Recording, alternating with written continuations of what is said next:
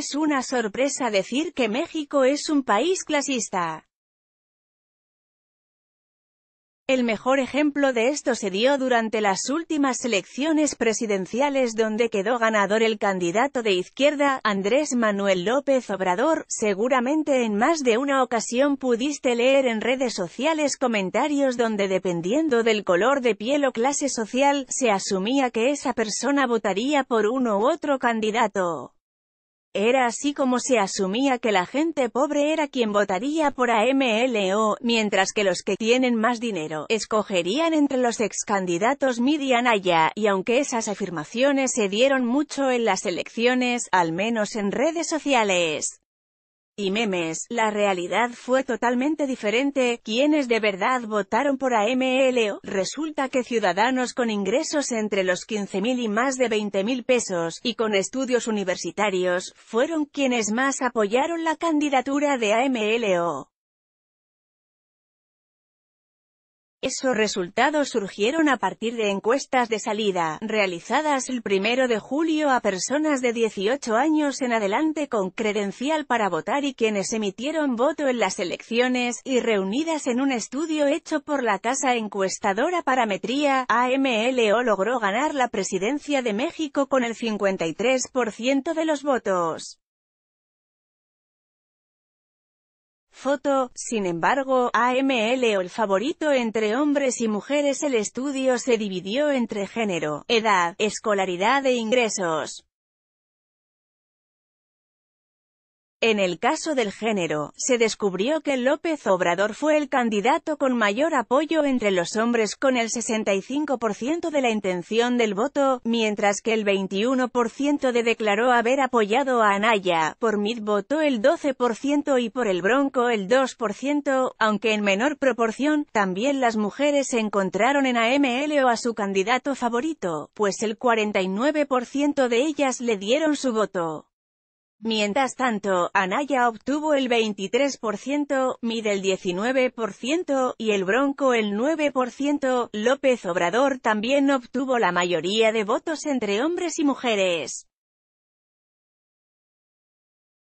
Foto, Reuters, AMLO se ganó a casi todas generaciones. El siguiente parámetro es la edad, rubro en el que Obrador resultó dominar prácticamente en todas pues de acuerdo con parametría, el tabasqueño encontró la mayor cantidad de votos en los jóvenes de entre 26 y 36 años, 63%, y la menor entre los de 18 a 25 años, 55%, Ricardo Anaya también fue apoyado en mayor medida por las personas de entre 26 a 35 años, 25%, MID encontró a la mayoría de sus votantes entre los ciudadanos de 56 años o más, 24%, y el Bronco lo hizo entre los de 18 a 25 años, 16%, AMLO ganó la mayoría de votos en casi todas las generaciones.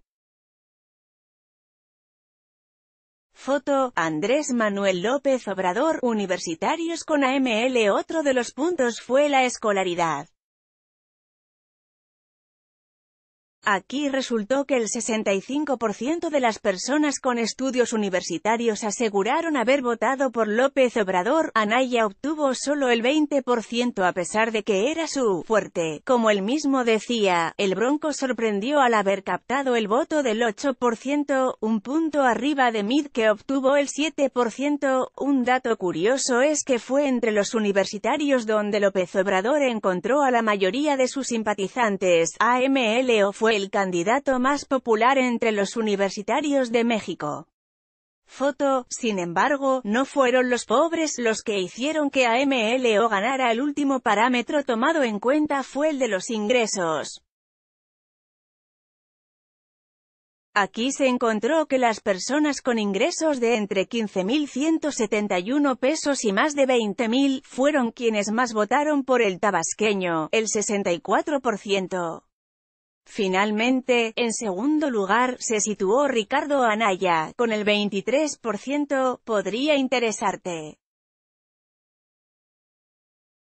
Decenas de peticiones al día llegan a la oficina de AMLO más de 42 billones de pesos, la deuda que dejará Peña Nieto a AMLO Opinión, AMLO, el estratega mediático Vicente Rendón coeditor de política periodista y fotógrafo por la UNAM escribiendo en arroba ccnews barra baja barra baja.